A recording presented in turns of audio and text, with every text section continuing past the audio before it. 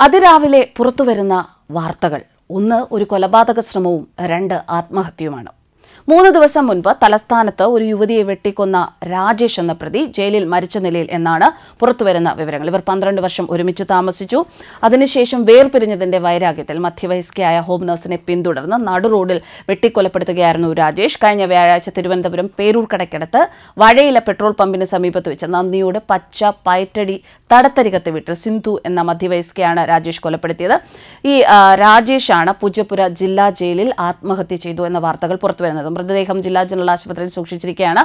മറ്റൊന്ന് കഴിഞ്ഞ ദിവസം യുവ അഭിഭാഷകയെ ഭർത്താവ് പട്ടാപ്പകൽ നടു റോഡിലിട്ട് പെട്രോൾ ഒഴിച്ച് തീ കത്തിച്ചു എന്ന വാർത്തയാണ്. കൊട്ടാരക്കര ഒന്നാം ക്ലാസ് മജിസ്ട്രേറ്റ് കോടതി ഒന്നിൽ വിചാരണയ്ക്ക് എത്തി മടങ്ങിയ എഴുകോൺ ഇടയ്ക്കോട് അക്ഷരയിൽ ഐശ്വര്യ എന്ന ഇരുപത്തിയാറുകാരിയാണ് മുപ്പത്തിയഞ്ച് ശതമാനം പൊള്ളലോടെ ഇപ്പോൾ തിരുവനന്തപുരത്തെ ആശുപത്രിയിൽ പ്രവേശിപ്പിച്ചിരിക്കുന്നത്. പ്രതി കോട്ടാത്തല അഖിൽ നിവാസിൽ അഖിൽ രാജിനെ നാട്ടുകാരുടെ സഹായത്തോടെ പോലീസ് പിടികൂടിയിട്ടുണ്ട്. ഐശ്വര്യ സ്കൂട്ടറിൽ പോവുകയായിരുന്നു. ഐശ്വര്യയെ ബൈക്കിൽ പിന്തുടർന്നാണ് അഖിൽ രാജ് ആക്രമിച്ചത്. കഴിഞ്ഞ ദിവസം ഉച്ചയ്ക്ക് രണ്ട് മണിയോടെ. ദേശീയപാതയിൽ നെടുവത്തൂർ അഗ്രോ ജംഗ്ഷന് സമീപമാണ് ഈ കൊലപാതക ശ്രമം നടന്നിരിക്കുന്നത്. നമുക്കറിയാം ഒരു കാലയളവ് വരെ പ്രണയപ്പക അത് കമിതാക്കൾക്കിടയിൽ മാത്രമാണ് ഉണ്ടായിരുന്നത്. പക്ഷേ ഇതിപ്പോൾ ദമ്പതികൾക്കിടയിലും ഈ പ്രണയപ്പക കൂടുകയാണ്. ഒരുമിച്ച് താമസിച്ചിട്ടും ഒരു വാക്ക് തർക്കമോ ഒരു ചെറിയ പരിഭവമോ ഉണ്ടായാൽ മറ്റേ ആളെ തീർത്ത് കളയണം എന്നത് ഇപ്പോൾ ഒരു പുതുമ അല്ലാതായിരിക്കുന്നു കൊട്ടാരക്കര പോലീസ് പറയുന്നത് കഴിഞ്ഞ നാല് വർഷമായി കോടതിയിൽ ഗാർഹിക പീഡന നിരോധന നിയമപ്രകാരം ഇവരുടെ കേസ് നടക്കുകയാണ് എന്നാണ്. ചിലവ് തുക സംബന്ധിച്ച കേസിനാണ് കഴിഞ്ഞ ദിവസം ഇവർ ഹാജരായത്.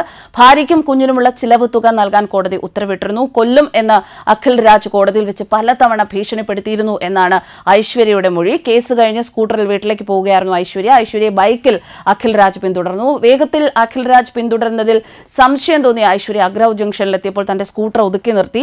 മറികടന്ന് മുന്നോട്ട് പോവുകയായിരുന്നു അഖിൽ രാജ്. പക്ഷേ അഖിൽ രാജ് തിരികെ ബൈക്കുമായി ഐശ്വര്യയ്ക്ക് സമീപത്തേക്ക് കുതിച്ചു വന്നു. സ്കൂട്ടറിൽ നിന്ന് ഇറങ്ങി ഓടി ഐശ്വര്യ. പക്ഷേ ഐശ്വര്യ പിടികൂടി അടിച്ച് താഴെയിട്ടു എന്നാണ് ദൃക്സാക്ഷികൾ പറയുന്നത്. ഇയാളുടെ കയ്യിൽ മുളക് സ്പ്രേ കരുതിയിട്ടുണ്ടായിരുന്നു. അത് ഐശ്വര്യയുടെ മുഖത്തേക്ക് തളിച്ചു. അതിന് പിന്നാലെ കയ്യിലുണ്ടായിരുന്ന കുപ്പിയിൽ നിന്ന് പെട്രോൾ ഐശ്വര്യയുടെ ശരീരത്തിലേക്ക് ജീവൻ രക്ഷിക്കാൻ വേണ്ടി എഴുന്നേറ്റ് ഓടാൻ ശ്രമിച്ച ഐശ്വര്യയുടെ ദേഹത്തേക്ക് ലൈറ്റർ കത്തിച്ച് എറിഞ്ഞു. ശരീരത്തിൽ തീ പടർന്നതോടെ ഐശ്വര്യ നിലത്ത് വീണ് ഉരുളുകയായിരുന്നു. ഓടിക്കൂടിയ നാട്ടുകാർ സമീപത്തെ കടയിൽ നിന്ന് വെള്ളം കൂടി കോരി ഒഴിച്ചാണ് തീ കെടുത്തിയത്. തോളിനും കഴുത്തു ഭാഗത്തുമാണ് തീ പടർന്നത്. ഉടൻ ഐശ്വര്യയെ താലൂക്ക് ആശുപത്രിയിലും തുടർന്ന് തിരുവനന്തപുരം മെഡിക്കൽ കോളേജ് ആശുപത്രിയിലേക്കും കൊണ്ടുപോവുകയായിരുന്നു. ബൈക്ക് ഉപേക്ഷിച്ച് സംഭവ സ്ഥലത്ത് നിന്നും കടന്നു കളയാൻ അഖിൽ രാജ് ശ്രമിച്ചു. പക്ഷേ അഖിൽരാജിനെ നാട്ടുകാർ പിടികൂടി പോലീസിൽ ഏൽപ്പിക്കുകയായിരുന്നു. സംഭവ സ്ഥലത്ത് നിന്നും പെട്രോൾ സൂക്ഷിച്ചിരുന്ന ജ്യൂസ് കുപ്പി കണ്ടെത്തി മുളക് സ്പ്രേ മുളക് പൊടി ഇവയെല്ലാം പോലീസ് കണ്ടെടുത്ത് കണ്ടെടുക്കുകയും ചെയ്തു. ആറ് വർഷം മുൻപായിരുന്നു ഇവർ രണ്ടാളുടെ വിവാഹം. അഖിൽ രാജും ആ, ഐശ്വര്യയും ആറ് വർഷം മുൻപാണ് വിവാഹിതരായത്. ബാങ്കിലെ കളക്ഷൻ ഏജന്റാണ് അഖിൽ രാജ്. സംഭവത്തിൽ വധശ്രമത്തിന് കൊട്ടാരക്കര പോലീസ് കേസെടുത്തിരിക്കുകയാണ്. അതേസമയം ആത്മഹത്യ ചെയ്ത രാജേഷിന്റെ കാര്യം പറയുകയാണെങ്കിൽ വ്യാഴാഴ്ച രാവിലെ പാലോടുള്ള ബന്ധുവീട്ടിൽ നിന്ന് വഴിയിലയിൽ ബസ് ഇറങ്ങി ഹോം നഴ്സായി ജോലി നോക്കുന്ന വീട്ടിലേക്ക് സിന്ധു പോകുന്നതിനിടെയാണ് രാജേഷ് സിന്ധുവിനെ വെട്ടിക്കൊലപ്പെടുത്തിയത്. കയ്യിൽ വെട്ടുകത്തി വെട്ടുകത്തി കരുതിയിട്ടുണ്ടായിരുന്നു. അതുകൊണ്ട് കഴുത്തിലും തലയിലും തുടർച്ചയായി വെട്ടുകയായിരുന്നു. നിലവിളി കേട്ടെത്തിയ സമീപവാസികൾ തടയാൻ ശ്രമിച്ചുവെങ്കിലും സാധിച്ചില്ല. സംഭവ സ്ഥലത്ത് നിന്നും രക്ഷപ്പെടാൻ ശ്രമിച്ച രാജേഷിനെ നാട്ടുകാർ തടഞ്ഞുവെച്ച് പോലീസിൽ ഏൽപ്പിക്കുകയായിരുന്നു.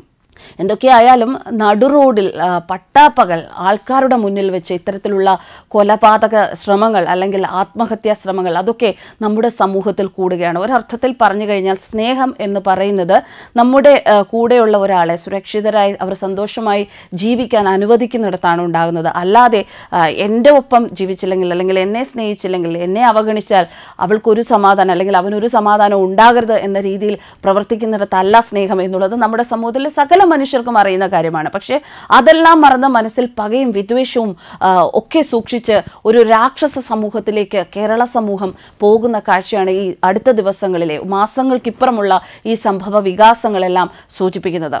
News desk കർമാനുസ്